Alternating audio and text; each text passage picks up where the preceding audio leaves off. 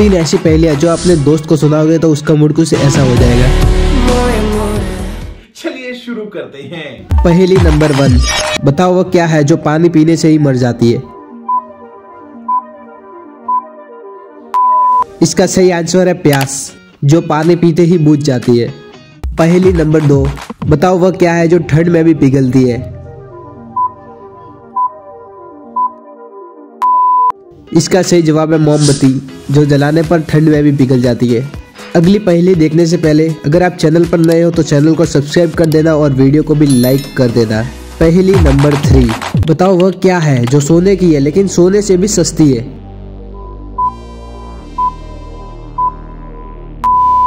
इसका सही जवाब है चार पाई